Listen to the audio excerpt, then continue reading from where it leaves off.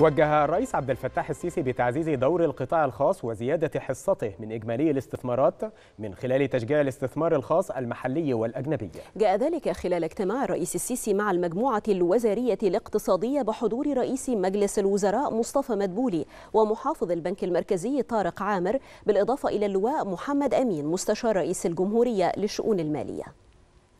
اجتمع السيد الرئيس عبد الفتاح السيسي مع المجموعة الوزارية الاقتصادية. بحضور الدكتور مصطفى مدبولي رئيس مجلس الوزراء والسيد طارق عامر محافظ البنك المركزي. والدكتورة هالة سعيد وزيرة التخطيط والتنمية الاقتصادية. والدكتورة رانيا المشاط وزيرة التعاون الدولي. والدكتور محمد معيط وزير المالية. والسيد هشام توفيق وزير قطاع الأعمال العام. وسيدة نيفين جامع وزيرة التجارة والصناعة واللواء محمد أمين مستشار رئيس الجمهورية للشؤون المالية. صرح المتحدث الرسمي باسم رئاسة الجمهورية. بأن الاجتماع تناول استعراض مؤشرات أداء الاقتصاد المصري. وقد تم التأكيد على التصاعد التدريجي في معدلات نمو الناتج المحلي الإجمالي منذ بداية العام الحالي 2021 ليحقق قفزة كبيرة ولافتة. ليصل إلى نسبة 7.7% في الربع الرابع من العام.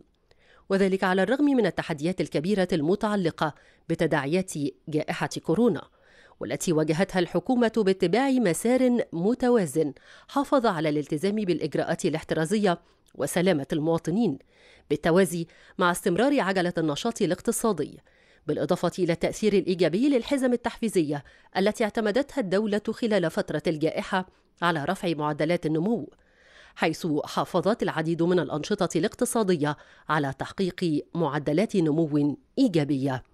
كما تم في ذات الإطار تناول ما تم التوصل إليه بشأن المسار التنازلي لنسبة المديونية الحكومية للناتج المحلي بدءا من العام المالي الحالي فضلا عن جهود فض التشابكات المالية في ضوء العديد من المبادرات المتخذة في هذا الخصوص.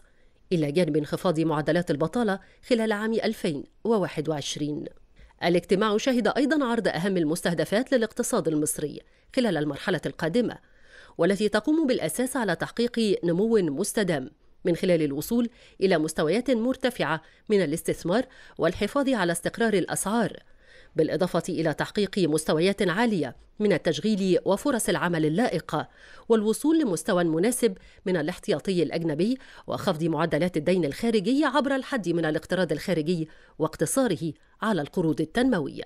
وقد وجه السيد الرئيس بتعزيز دور القطاع الخاص وزيادة حصته من إجمالي الاستثمارات من خلال تشجيع الاستثمار الخاص المحلي والأجنبي.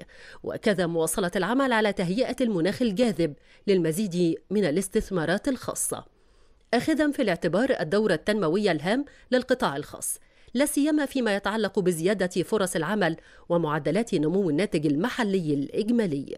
شهد الاجتماع كذلك التطرق إلى آخر الاستعدادات المتعلقة بتنظيم واستضافة منتدى مصر للتعاون الدولي والتعاون الإنمائي 2021 والذي سيعقد تحت رعاية السيد الرئيس خلال الفترة من الثامن إلى التاسع من سبتمبر الجاري بالقاهرة وذلك بمشاركة دولية وإقليمية واسعة من الدول والمنظمات شركاء التنمية من أوروبا وإفريقيا والشرق الأوسط.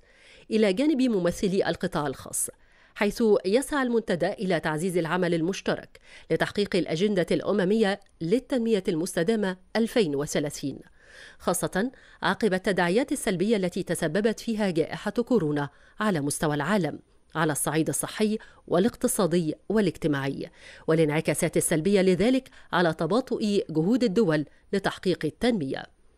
فضلا عن تسليط الضوء على ريادة مصر على المستوى الإقليمي فيما يتعلق بجهود تحقيق التنمية والإصلاحات الاقتصادية. وكذا الاهتمام الذي توليه الدولة لتعزيز العلاقات المشتركة والتعاون متعدد الأطراف.